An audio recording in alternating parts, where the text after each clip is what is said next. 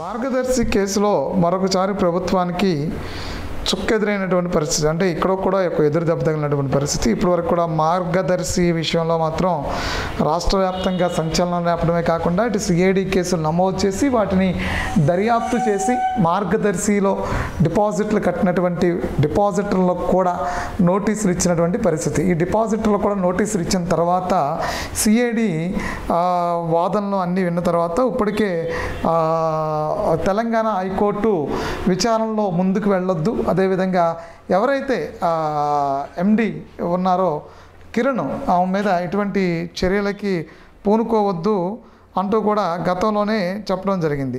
అయితే రాజధానికి సంబంధించినటువంటి అంశాల్లో మరొకసారి ఆ, మార్గదర్శిపై విచారణ కుదరదు వెనక్కి వెళ్ళండి అని చెప్పంటూ కూడా సుప్రీంకోర్టు చెప్పినటువంటి పరిస్థితి.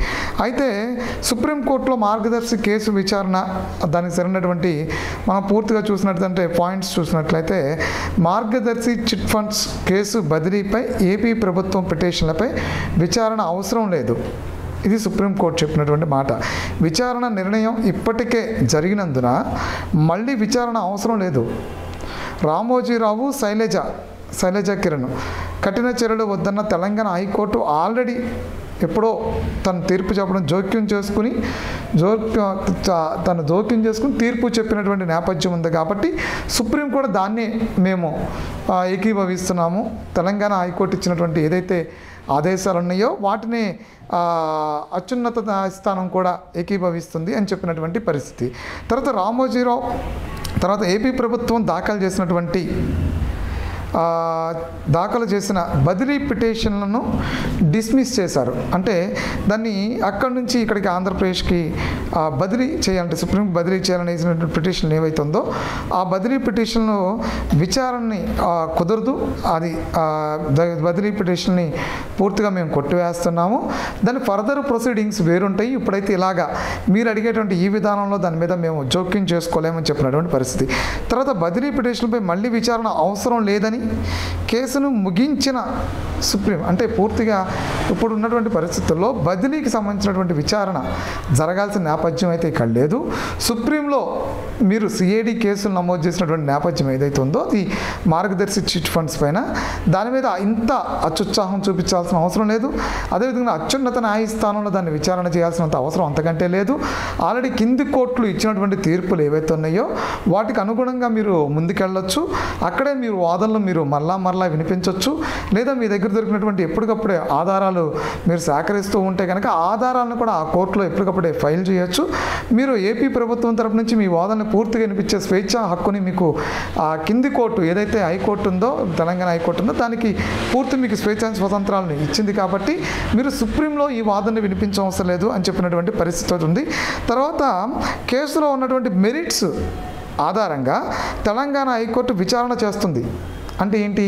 ఎప్పుడైతే మనం దీని మీద ఎప్పటికప్పుడే అప్డేట్ చేస్తూ ఇప్పుడు ఆల్రెడీ సిఐడి నుంచి బాధితులు ఎవరైతే ఆ డిపాజిటర్ ఉన్నారో డిపాజిటర్ నోటీసులు ఇచ్చారు కాబట్టి నోటీసులు తీసుకున్నటువంటి డిపాజిటర్లు ఇచ్చేటువంటి స్టేట్మెంట్స్ ఏవైతే ఉన్నాయో ఈ మార్గదర్శి కనుక వ్యతిరేకంగా వస్తే లేదంటే డిపాజిట్ ఎవరైనా నష్టపోతే కనుక వ్యతిరేకంగా వస్తే ఆ మెరిట్స్ ఆధారంగా రేపొద్దున హైకోర్టు తెలంగాణ హైకోర్టు విచారణ జరిగిద్దని చెప్పని కూడా సుప్రీంకోర్టు చెప్పింది. చెప్పాలనుకున్న విషయాలన్నీ తెలంగాణ హైకోర్టు ముందు చెప్పండి అని ఏపీ న్యాయవాదులకు సూచించింది. తెలంగాణ హైకోర్టు తుది ఆదేశాలు ఇచ్చాక రావచ్చు. ఏది? తెలంగాణ హైకోర్టులో మీ పూర్తి అంతా వాదనలు వినిపించిన తర్వాత తెలంగాణ హైకోర్టు మీకు ఇచ్చినటువంటి ఏదైతే జడ్జిమెంట్ ఉంటుందో మీరు ఇచ్చేటువంటి ఆధారాల నేపథ్యంలో తెలంగాణ హైకోర్టు మీకు ఇచ్చేటువంటి తీర్పు ఏదైతే ఉంటుందో ఆ తీర్పు తర్వాత అది మీరు అంటే మీరు సేకరించినటువంటి ఆధారాలకి సంబంధించినటువంటి తీర్పు కాకుండా మీకు వ్యతిరేకమైనటువంటి తీర్పు కనుక అక్కడి నుంచి వచ్చింది అనిపిస్తే కనుక ఎక్కడి నుంచి? తెలంగాణ హైకోర్టు నుంచి కనుక వచ్చింది. మీరు సేకరించినటువంటి ఆధారాలు ఈ స్థాయిలో ఉంటే కనుక మీకు వచ్చినటువంటి తీర్పు ఈ స్థాయిలోనే ఉంది కాబట్టి మరొకసారి అత్యున్నత న్యాయస్థానం సుప్రీంకోర్టును ఆశ్రయించవచ్చు. ఆశ్రయించిన తర్వాత ఆ వాదనలు మీరు అక్కడ వినిపించవచ్చు. దానికి కావాలంటే మరొకసారి మీరు సుప్రీంకోర్టుకి రావచ్చు. ఏది? తెలంగాణ హైకోర్టు తుది ఆదేశాలు ఇచ్చిన తర్వాత మాత్రమే రావటానికి ఉంది.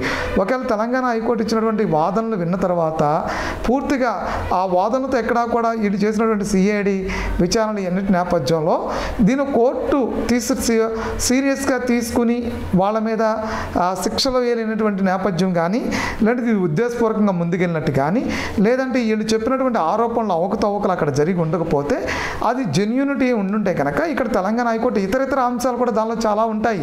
ఇటు విచారణ ఎవరైతే బా బాధితులు లేరు బాధితులకు సంబంధించినటువంటి విచారణ జరగట్లేదు కానీ డిపాజిటర్ని విచారించే క్రమంలో డిపాజిటర్లు వ్యక్తిగతంగా వాళ్ళు ఎలా ముందుకెళ్ళారు? అలాగే కేంద్రం ఇచ్చినటువంటి ఈ ఈ నిబంధనలు కాకుండా మార్గదర్శి చిట్స్ కాకుండా డిపాజిట్ సేకరణకి వెళ్ళినటువంటి నేరం ఎంతవరకు చేసింది? ఆ నేరం చేయడానికి కా వాళ్ళ నేరంలో వీళ్ళు సేవించినటువంటి సమాచారం ఏంటి? వాళ్ళు తీసుకున్నటువంటి డిపాజిట్ల సంఖ్య ఎంత? దాని మీద జరిగినటువంటి నష్టం ఏమైనా ఉందా? లాభం ఉందా? ఒకవేళ కంపెనీ బోర్డు తిప్పేసి వెళ్ళిపోయేటువంటి ప్రయత్నాలు ఏమైనా చేసిందా? కంపెనీ బోర్డు తిప్పేసే అంత పరిస్థితులు ఆ కంపెనీకి ఉందా లేదా? దానికి అనుసంధాన కంపెనీ ఉందా లేదా? అసలు ఈ వ్యక్తి ప్రొఫైల్ అంతా కూడా చెక్ చేసి వాళ్ళ తర్వాత తుది తీర్పునిస్తారు.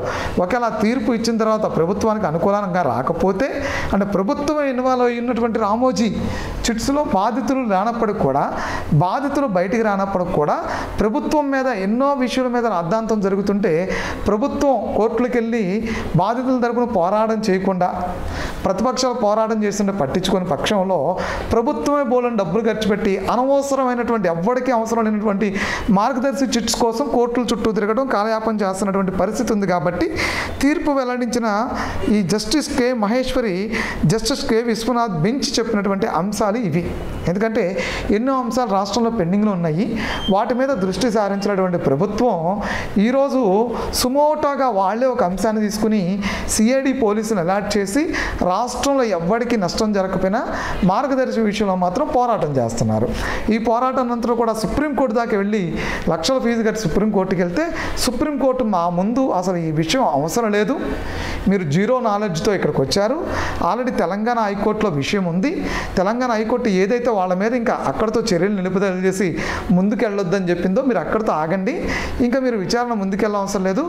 మీరు మెరిట్ కనుక ఉంటే మెరిట్ అప్డేట్స్ కనుక మీ దగ్గర ఉంటే మెరిట్ అంటే మీరు ఏదైనా ఆధారాలు సేకరిస్తే ఆధారాలను కోర్టులో సబ్మిట్ చేయండి. తర్వాత చూద్దాము అని చెప్పి వెనక్కి వెళ్ళండి అని చెప్పింది. ఇది ప్రస్తుతానికి ఆంధ్రప్రదేశ్లో ప్రభుత్వం చేస్తున్నటువంటి వాటి ప్రభుత్వం తీసుకొస్తున్నటువంటి కొత్త కొత్త వరవడులు నాందుకు పలుకుతున్నటువంటి పరిస్థితులు ప్రభుత్వం ప్రజలకు ఉపయోగపడేటువంటి అంశాల్లో ముందుకెళ్ళకపోయినా ఇలాంటి పనికిమాలిన విషయాల్లో మాత్రం ప్రభుత్వం చాలా చొరవ చూపిస్తుంది అనేది స్పష్టమవుతున్నటువంటి పరిస్థితి.